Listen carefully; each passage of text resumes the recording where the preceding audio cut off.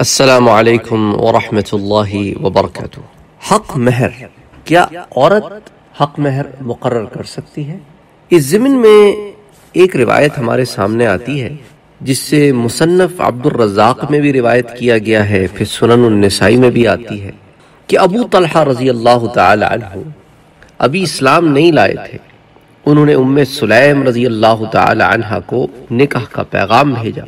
तो उम्म सुलैम रज़ी अल्लाह तहा ने कहा कि मुझे लोगों में तुम जैसा कोई दूसरा आदमी नज़र नहीं आता, मगर एक रुकावट है कि मैं मुसलमान हूँ और तुम काफिर हो। इसलिए मैं तुम्हारे निकाह में नहीं आ सकती। हाँ अगर तुम मुसलमान हो जाओ और इस्लाम कबूल कर लो तो यही मेरा महर होगा। और मैं इसके अलावा कोई चीज़ बतौर हक महर तलब नहीं करूँगी। चुनाचे अबू तलहा रज़ी अल्लाह मुसलमान हो गए और यही चीज़ हक महर करार पाई। तो मालूम हुआ इस रिवायत की रोशनी में कि औरत भी अपना हक महर तय कर सकती है और दूसरा ये कि निकाह में माली हक महर होना ज़रूरी नहीं। इस किस्म की शर्त के एवज भी निकाह जायज़ है।